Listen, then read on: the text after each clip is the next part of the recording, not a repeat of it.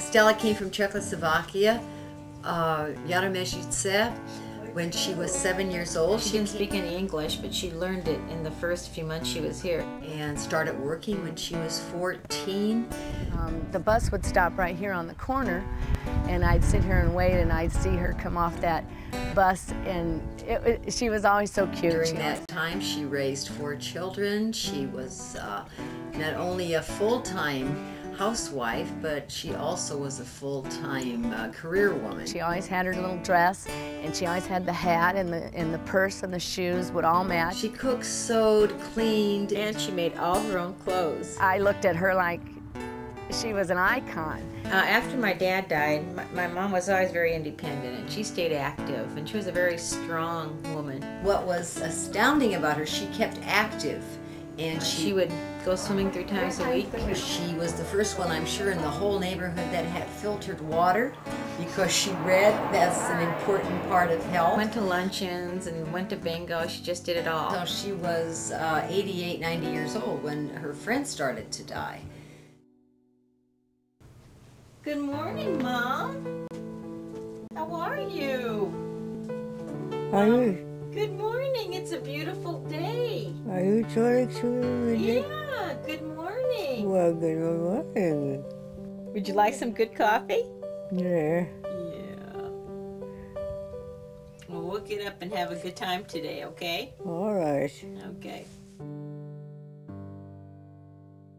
with vascular dementia, um, there are there is definite damage to the brain as these small strokes occur, as opposed to um, Alzheimer's disease, where there is simply a an atrophy uh, of the of the cerebral tissue, as opposed to actual damage from uh, small strokes. Sometimes she's very clear. She'll know who we are. One day, one day she knew both of us at the same time and knew both Elaine and I were her daughters. Uh, so it isn't like it's her whole memory is gone. She goes back a lot to her childhood. She asks for her mother a lot and her sister Mary. And then she'll come back to the present. It just kind of goes back and forth, and we just deal with her wherever she's at at that time. What's my name, Grandma? I, I knew it, and but I for, forget it. And those things they they they it in you you you you learn them and then you forget them. So, what do you do about that?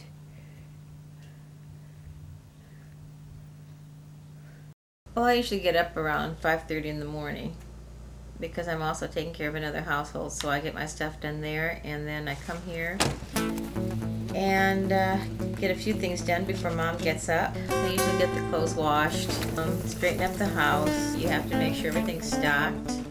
Uh, for her medical needs as well, upkeep on the house, and I usually supply food for the people staying here. everyone wrote down their hours. We try to make it as Prior day. comfortable as possible for everyone involved in this because we figured it that way. My mother. Mom, I'm gonna get you cleaned up now, okay? All right. Okay.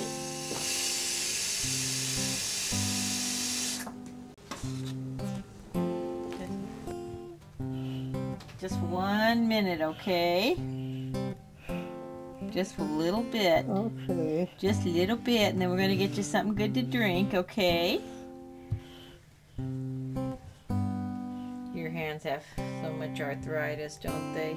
I don't know. Yeah. Gotta be careful with you, huh? Yeah, you do. You do, I know it.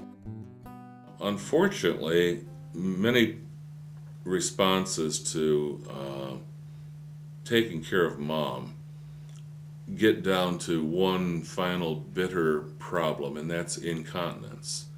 While it's difficult to change your grandson's diapers, it's even more difficult to change your mother's diapers.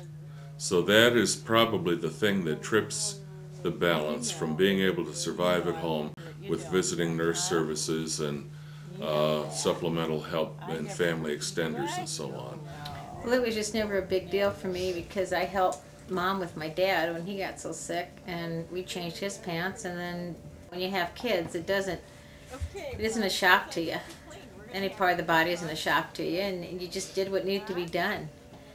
It isn't something that really bothers you when it's your mother.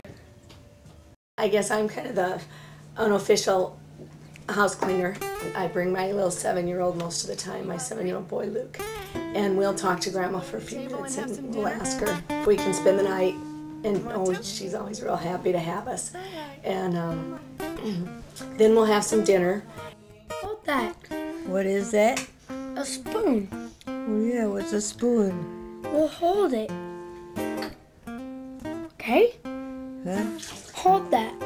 Why? Use it to eat your cereal, honey.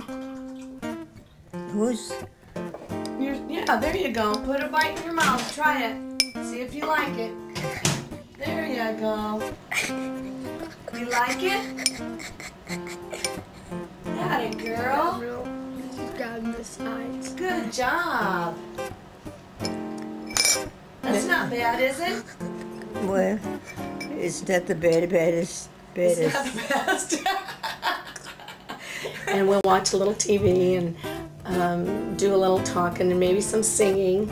She still is very um, vivid with the Bohemian songs. It's amazing. Uh, we try to keep a really cheery house, lots of pictures of family members, uh, flowers, a lot of signs that she can read, uh, pictures of her husband and their wedding pictures. And we always put her name up there, and that still keeps her sharp as far as reading. You know what your name is? Hmm? You remember? Can you see that up there on the wall? See what it says up there on the wall? Yeah. What does that say? Let's see. Chi e Okay, what does that word say? ste, steppy. You know what this says. What does it say? Stella.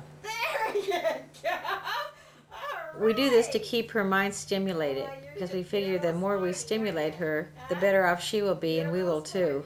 She does have a quality of life that Yes. I don't think one would have if you're sitting in a care home by yourself in a room. Now, I can't even fathom my grandmother being alone with unconcerned strangers for 160 out of 168 hours a week and still maintaining her will to live. And for someone to say that they don't come to visit their loved one because they say, well, she doesn't know me anyways. One begins to realize the point isn't does she know who it is that is the significant person that is caring for her. Uh, somebody isn't going to be standing outside the door every time you leave saying, hey, good job, you're wonderful, you're great. What's important to us is that we're caring for her and that she's experiencing um, Life. life. Is that about the younger person visiting the elder or about the elder being happy to see that younger person even though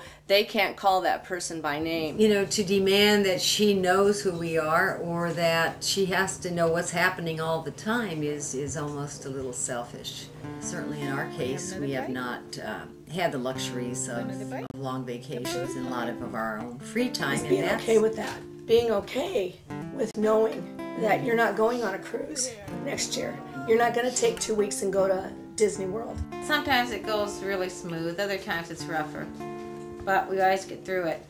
Whenever I start to think anything other than positive things, I always think to myself, if it was over tomorrow, would it all be so bad? And every single time I say no. And not everyone in the family feels that way. But in our situation, we have a, a lot of family members that are very committed to the situation, making it doable. No matter how hard it ever gets, it's always doable. I promised her years ago that I would never put her in a home. And I'm going to hold that promise. How could we not keep that commitment to her? As committed as she was to us all our life.